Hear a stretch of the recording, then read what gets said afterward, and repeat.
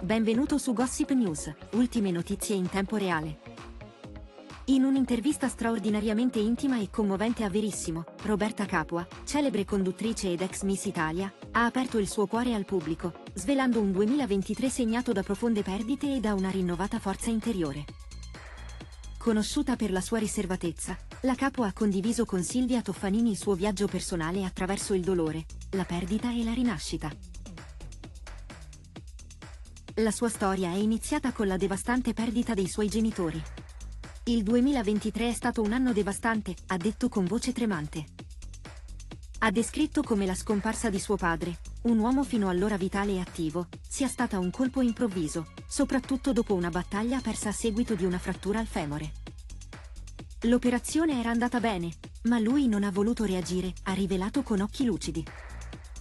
Poi, con la stessa intensità, ha raccontato la lotta della madre contro una malattia che le ha rubato la memoria e l'identità. Vedere mia madre malata è stato difficilissimo, ha confidato. Aveva cominciato con dimenticanze gestibili, ma poi è peggiorata. Il suo racconto ha toccato profondamente, esprimendo la sua paura di condividere lo stesso destino.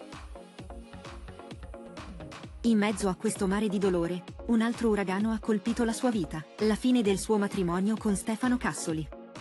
Un evento che è apparso come un fulmine a ciel sereno, aggiungendo un altro livello di sfida emotiva.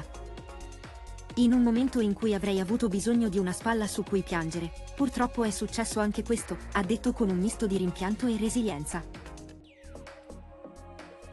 Nonostante la tempesta, Roberta Capo ha trovato una bussola nel suo figlio Leonardo, nato nel 2008.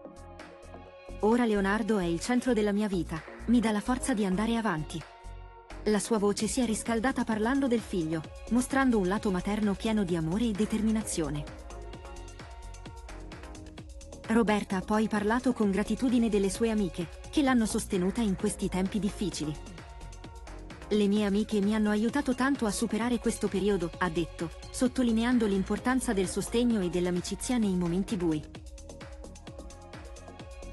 Concludendo l'intervista, la capo ha espresso un cauto ottimismo verso il futuro. Ora sono serena e guardo al futuro con ottimismo, anche se ho 55 anni. Ha poi aggiunto che, nonostante le sfide, ha ancora molto da realizzare a livello professionale. Questa intervista ha rivelato un lato di Roberta Capua raramente visto, una donna che, nonostante le avversità e le perdite, è determinata a rialzarsi e a continuare a sorridere, un vero esempio di forza e resilienza.